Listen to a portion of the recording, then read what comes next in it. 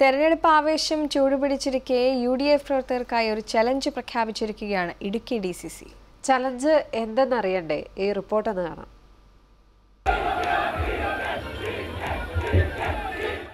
അഭിമാന പോരാട്ടമാണ് ഇത്തവണ ഇടുക്കിയിൽ യു ഡി എഫിനും കോൺഗ്രസിനും.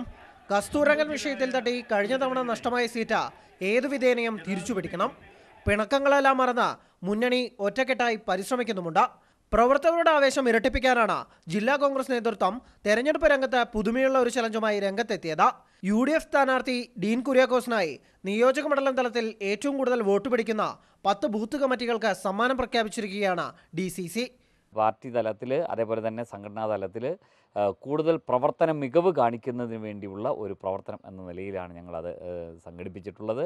ഡീൻ കുര്യാക്കോസിന്റെ വിജയത്തിന് വേണ്ടിയുള്ള ഒരുക്കങ്ങളിൽ ഇത് വലിയൊരു ആവേശമായി ഊർജമായി മാറും എന്ന പ്രതീക്ഷയാണ് ഞങ്ങൾക്കുള്ളത്. മാറിയ കാലത്ത് ഇത്തരം ന്യൂജൻ ആശയങ്ങൾ കൂടിയേ തീരുവെന്നും വരും ദിവസങ്ങളിലും വേറിട്ട പ്രചാരണ തന്ത്രങ്ങൾ ഉണ്ടാവുമെന്നും D C C president Ibrahim Kuttikallar പറയുന്നു. ഇടുക്കിയിൽ നിന്ന് അനിൽ വാസുദേവ് ഏഷ്യാനെറ്റ് ന്യൂസ്.